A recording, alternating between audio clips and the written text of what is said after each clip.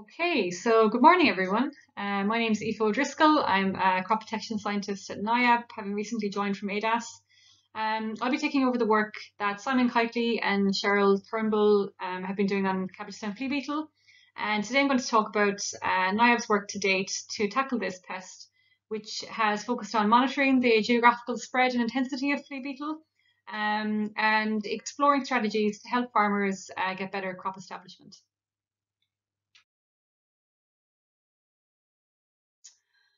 So NIAB's research to date and to tackle this pest has focused on three main avenues. We've collected five years of crowdsourced data uh, from farmers up and down the country to monitor real-time changes um, in damage due to flea beetle and to try and link this to information on production systems. In tandem with this, we've also been conducting um, insect trapping to monitor uh, changes in migration patterns and flea beetle populations. And we've also done a lot of work on uh, companion cropping to help that crop get up and away and improve crop establishment. So as I mentioned earlier, uh, over the last five years, we've been collecting data nationally through our online survey, which has evolved over time. Um, so looking at our 2019 survey, we asked farmers to provide details on how their crop was faring, ranging from experiencing little or no damage to complete crop failure, and also whether they had stopped growing oilseed rape completely. Um, we also collected a lot of data on uh, crop husbandry and agronomy. So in the 2019 survey, uh, we had a lot of responses, 1,127 responses to be exact.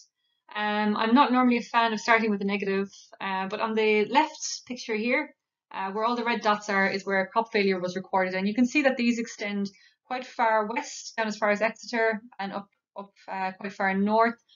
Um, I think what's important to think about when you're looking at this data is what crop failure is recorded as.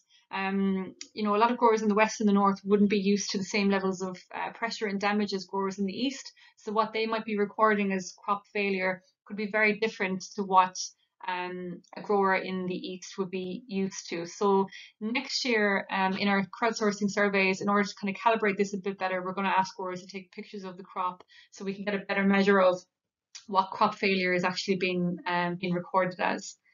Um, middle picture then is uh, where all the green dots is where little or no damage was recorded. And yes, as you would expect, uh, we're seeing um, some really good crops up in Scotland and then farther down into Plymouth as well. But what's really encouraging is that we're seeing a lot of green dots in areas which we, we would consider normally as high be flea beetle pressure areas. And then on the right um, is all the responses combined. So a fairly broad geographical spread uh, for the data that we got last year. This slide compares 2018 to last year's responses. Um, so you can see that there's been a 3.5% increase in the number of growers who've just stopped growing oilseed rape altogether. We also saw a large decrease in the number of growers reporting uh, mild damage um, and a big increase in the number of, of growers reporting um, crop failure. So from 13% in 2018 up to 30% in 2019. Now this was for a variety of reasons. Yes, flea beetle, but also flea beetle times other things going on, uh, which we'll come to in the next couple of slides. Um, and all these reasons were captured in the survey. So uh, no surprise based on uh, last year's summer and autumn. The major other reason for crop failure was drought. So sowing into too dry a seed bed, preventing good establishment, and then further lack of soil moisture um, in August and September. And then a whole raft of other contributing factors from soil type uh, to weed pressures um, to geese and deer destroying the crop. So in our surveys, we collected a lot of data on crop husbandry and agronomy, which I'm happy to discuss outside of this presentation. You can give me a call or email me. Um, but for the purposes of brevity, I'm just going to focus on um, three main factors and uh, how those factors related to flea beetle damage. Um, the first of these is sowing date. So uh, in this graph, the purple bars reflect crop failure. On the x-axis is sowing date. And what we saw was that uh, growers who sowed after the 18th of August saw a big increase in crop damage. Um, and we'll come back to this graph a little bit later about how this relates to um, our trapping data and the migration patterns of the flea beetle. Uh, the second factor is seed treatments. So most of the growers surveyed um, weren't using seed treatments, and you can see there's a fairly even distribution um, in the level of damage experience, leaning towards crop failure, it could be argued. But even growers who were using seed treatments, like Lumiposa, which is cyantraniliprole, um, or other options, uh, biological options or other uh, growth stimulators, they also experienced um, a lot of crop damage. So it's clear that seed treatments um, are only one part of this uh, very complicated puzzle. Does spraying help? Um, again, a big range in the number of pyrethroid sprays being applied. Um, so most farmers reported spraying one to two times throughout the season with varying levels of crop success. Um, the status bar on the graph for me is the one on the right hand side, um, which represents one grower who sprayed six times throughout the season.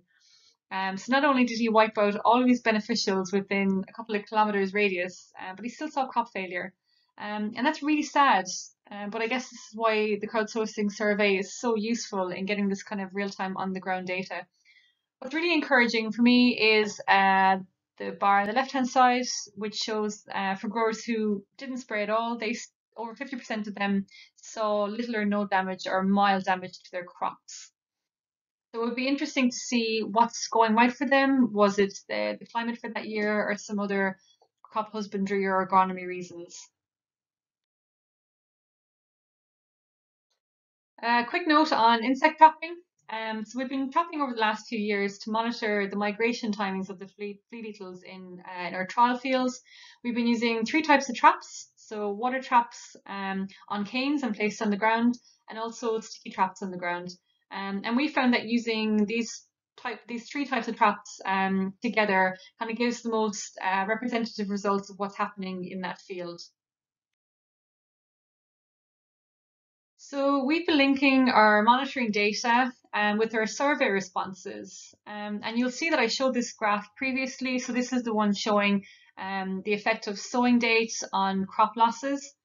Um, so if we add in the cumulative data for the number of flea beetles caught at all of our locations and lay this over the sowing date graph, so as you said before, sowing after the 18th of August gave you the greatest increase in crop losses.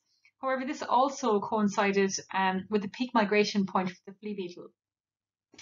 Now, there's lots of ways this could be interpreted, and we hope there will, there will be numerous ways um, that we can incorporate this kind of data in the future um, into other modelling and uh, flea beetle prediction services going forward. Over the last five years, we've also done a lot of work looking at different companion crops and different companion crop mixes. And more recently, we've incorporated a few other elements into these trials, looking at different uh, seed rates of oilseed rape, different seed treatments, including Lumiposa and also slurry. Um, there is a lot of information out there on companion crop choice, and I suppose the right answer from my point of view when deciding what to go with is it depends. It depends on what's right for your farm um, and your situation. The NIAB experience from five years of trials has been um, that white mustard is the most promising option. We've seen it reduce uh, both adult damage and larval numbers in every year we've had it in trials so far. The flea beetles do like it, um, but it manages to withstand the damage. There is still a lot of tweaking to be done to optimize um, seed rates uh, and crop removal, however. Currently, we're advising to sow the mustard at two to three times the seed rate of oilseed rape, which means that um, it could work, work well with um, clearfield varieties, but you do need to spray it off um, as soon as the rape is well established enough to avoid competition. And that's something that does need a bit more um, investigating. Um, the work with slurry is ongoing. It definitely deters uh, the flea beetles, but whether that's purely down to deterring the flea beetles or some other nutritional aspect, we're not quite sure of that yet. Uh, we're also looking at other uh, other smelly stuff options going forward as well. Um, and you know we are aware that uh, there's a lot of other projects out there advocating for different companion crops. Um, but the NIAB experience to date has been that we've seen no clear value um, from using buckwheat, spring beans, or clover mixes. So, a quick summary um, from five years of crowdsourcing surveys and companion cropping studies, what have we learned? Um, but it all comes down to good establishment. So, the NIAB message is to sow as early as possible in August as you can. Sow into moisture, sow into a good seed bed to minimize soil moisture loss during drilling. Pyrethroids won't save you, they won't do you or your beneficials any favours, so don't use them. And uh, seed treatments that are available are achieving very little in general, um, conventionals have shown a small advantage over hybrids. Um, is it the case that high seed rate wins over early vigour? We haven't fully uh, answered that question yet.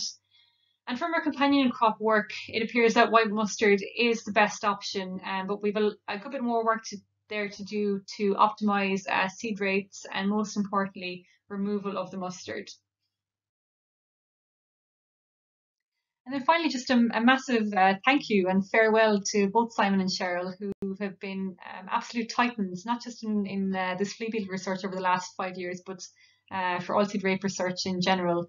Um, and in the retirement, uh, you've also got a new new team now in the form of me. So I'm crop protection scientist um, and the lead for flea beetle going forwards. Uh, and Colin Peters has also joined as um, the oilseeds and break crop specialist at NIAB. And a massive thank you to uh, Will, who's a senior field trials manager, and all the field team for the work they've done over the last five years um, with companion crop work and, and capping work and helping us to get good data to inform our research. So thanks very much, and uh, I hope to hear from you or see you all in the future. Um, and yeah, thanks.